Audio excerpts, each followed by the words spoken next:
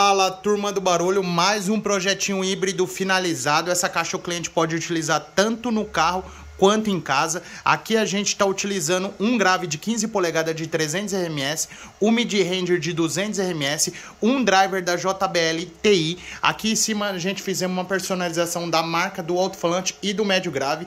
Aqui a gente colocou uma plaquinha MP3, colocar um botãozinho aqui para ligar ela, todo o sistema e também para desligar o LED. Aqui na parte de trás aqui ó, a gente está usando um amplificador DF500 da Falcon, uma fonte de 40 amperes da Stetson.